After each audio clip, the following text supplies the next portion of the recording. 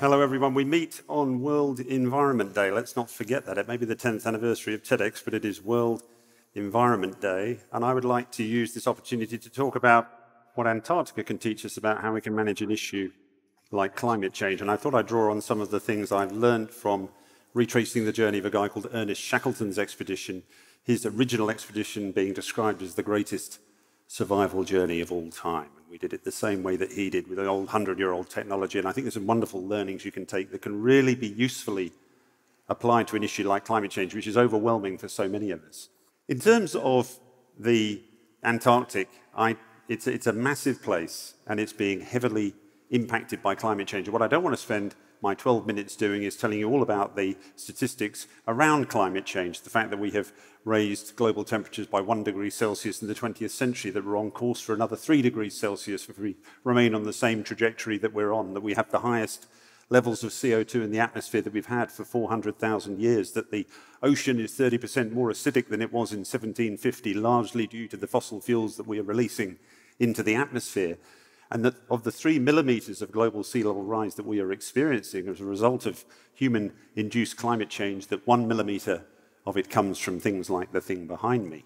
One millimeter comes from the melting of the western part of Antarctica. That thing behind me is B15A, the largest iceberg ever to break off Antarctica. 195 kilometers long, 37 kilometers wide, 800 meters thick not the size of Belgium like these things so often are, but 15 times the size of Singapore, just to give you some indication of the scale of what it is that we are actually dealing with. When Sir Ernest Shackleton went to Antarctica, his goal was to cross Antarctica from one side to the other. These are my tracks coming out of the screen towards you. Still 600 kilometers from the South Pole when I took this shot. In the background is a mountain a thousand meters bigger than Mount Kosciuszko. Only the top 100 meters sticks out of the 3,000 meter thickness of ice in that part of Antarctica. From a climate change perspective, we have everything to be fearful of with Antarctica.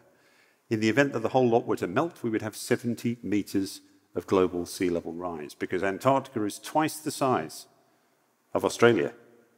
It is covered in an average thickness of 2,000 and 50 meters. Australia is 7.5 million square kilometers. Antarctica is 14 million. 14 million times 2. My maths isn't that good, but I think there's 28 million cubic kilometers of ice. 97% of the world's water is in the ocean. Of the remaining 3%, 2% is in the Antarctic, and 7.3 billion of us survive on the remaining 1%.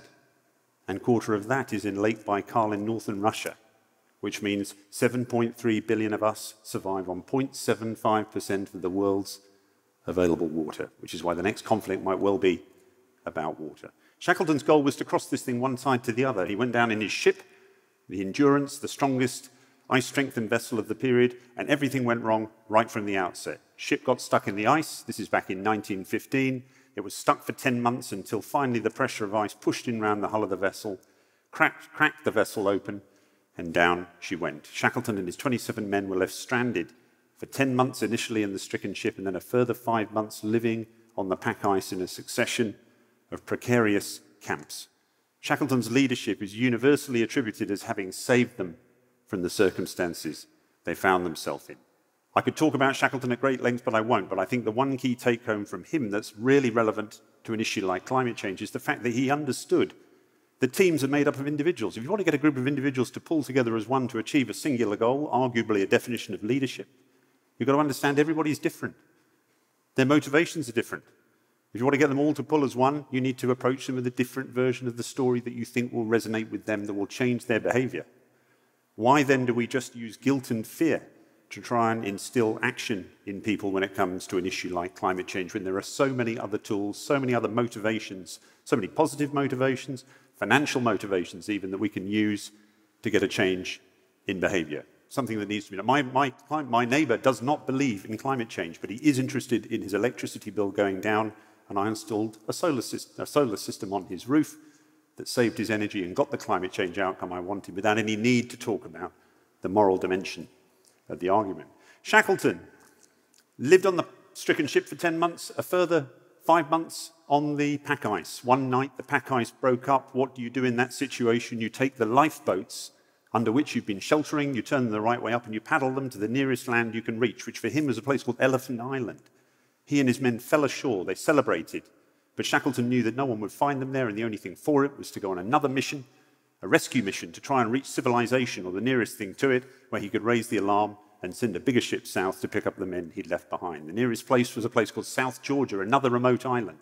Off he went on a journey which is quite unbelievable against all the odds, using traditional navigation, a sextant in a, a, a pitching boat in the roughest ocean in the world. He reached South Georgia, raised the alarm, and saved everyone. How does one make an expedition like this happen when you're asked to do it 100 years on the same way he did? You don't do it by just vaguely going in that direction. You use what they call backwards mapping, where you say, This is the objective I want to try and achieve, and these are the steps required to achieve it. Why then, with the international climate change dialogue, do we have an aspirational goal of one and a half degrees Celsius beyond which we must not warm the planet? All the countries get together, they put together their commitments. Someone smarter than me aggregates their total commitment and realizes we don't get to one and a half degrees, we don't get to two degrees, we get to three and a half degrees. We missed the target by more than the amount we've already warmed the planet as a result of the last 250 years of fossil fuel burning. I don't call that a success. That wouldn't work in an expedition. Why should it work with an issue like climate change? Backwards mapping, put in place the things you need to get done in order to achieve the goal you set for yourself. The boat. We rebuilt his boat just as per the original, a keelless seven meter rowboat, frankly, very precarious for the Southern Ocean. I had backers, I had Discovery Channel backing the expedition, I assumed in the fortnightly phone hookups to chart my progress on the expedition planning that they want to see the budgets and the risk assessment and things like that. They only wanted to see pictures of the boat. Why is that? We are evidence based creatures. Seeing is believing. Humans need to see things. Why is climate change so difficult to communicate? Because you can't see CO2 in the atmosphere. What does 400 parts per million mean to anybody when you can't see it? You need to find something that speaks to the person whose behavior you're seeking to change, a proxy for it. You need to find your Shackleton boat if you want to convince yourself and others to change behavior. It must be something that actually means something to them. Life on the Southern Ocean in a 23 foot, 7 meter long keelless rowboat with six guys sharing the equivalent space of a queen sized double bed, sleeping on top of rocks designed to stop the boat from capsizing in the massive sea state that we experience, wearing non waterproof clothing eating lard for sustenance, trying to reach a little dot in the ocean, South Georgia, 100 years after Shackleton, ain't much fun. It is a seasickness inducing, unbelievably fetid environment as you're sitting in a vomit encrusted reindeer skin sleeping bag with only 15 millimeters of larch planks that separate you from the one degree Celsius of the Southern Ocean. Survival time less than 10 minutes if you should fall in. It ain't for everybody. How do you get through it? You break the enormity of the challenge down into small pieces. If that's not a metaphor for climate change, I don't know what is. You take a massive challenge and you break it down into small pieces and you work through the achievement of those small milestones until you get to the outcome that you seek. In the knowledge that you might need to change tack, we were pushed off course many, many times. And the what it is you're trying to achieve remains fixed. The how you get there, get there may need to change in accordance with the landscape. Don't allow your view to be fixed adjust on the run and adjust accordingly and still achieve the outcome that you seek.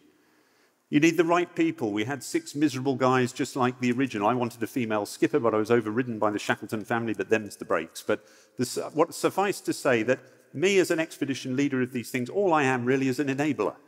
It's the team that gets the job done.